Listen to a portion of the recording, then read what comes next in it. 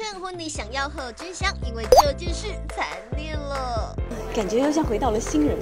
全身心出席隐形眼镜活动，但焦点却都放在相隔四年回归小荧幕的作品《老男孩》上。我跟刘烨烨哥拍戏，他很自由，相对的也彰显出了我自己的一些比较过于谨慎的部分。对，所以我现在在跟他学习如何奔放的演出。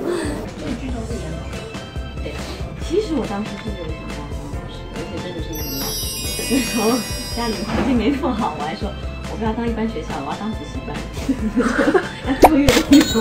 他儿子有来探班吗？目前还没有，非常的期待。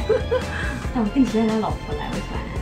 话说日前因安以轩婚礼，贺军翔的脸书晒出与林依晨合照，爱情合约 CP 档久违合体。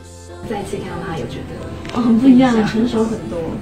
当爹了以后的心情很不一样，对不对？我也觉得，哇，真的跟我当初认识他已经是两个人。直接有车，十三年，十三年。其实我那时候我的婚宴就已经有邀他来了，但那时候其实我蛮保密的，真的是到最后一刻，哇，这件事情也是我自己的遗憾。我原本说的其实是我的三十二岁生日，就因为这样，就很多朋友不能来，那包括他。小宋其实也是，我也是觉得哇，有点太保密到这样。